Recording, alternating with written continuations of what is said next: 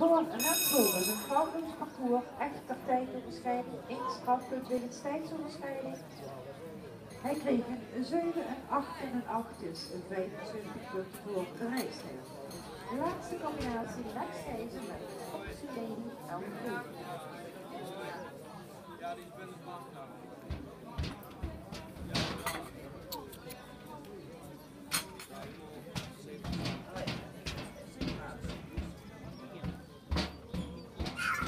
Laat ze een beetje galopperen.